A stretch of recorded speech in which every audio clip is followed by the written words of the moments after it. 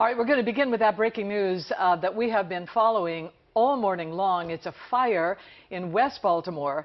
And sadly, firefighters have now, at 9, confirmed that one person did die in that row home fire. We want to go back out live to Amy Kawata. She's at the scene. Amy, what are firefighters saying? Meg, Denise, well, the fire is now out behind me. You can see the charred vacant row home and the damage to its neighboring building.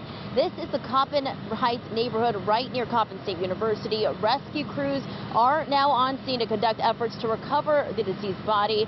Baltimore Fire Chief confirms crews found the body underneath the collapsed second floor. Now take a look at this cell phone video captured by a neighbor showing the massive flames coming from the top of the building. Baltimore Fire Chief says crews were called to the 2400 block of West North Avenue just before 5 this morning. When they arrived on scene, there was heavy fire and smoke coming from three vacant three-story row homes here. A second alarm was called due to the fire extending from one building to two others, and a few neighboring homes have also been evacuated due to smoke, and at least one family is now displaced. Kira Anderson lives just two doors down from where the fire started. She says she was woken up by the smell of smoke and her mom screaming. She tells us she ran out of her home in panic without even putting her shoes on and is lucky to be alive this morning. I heard my mom screaming saying it's a fire, it's a fire. So I just grabbed everything I had on, and just ran to the door, and then I seen outside it was sort of spreading everywhere.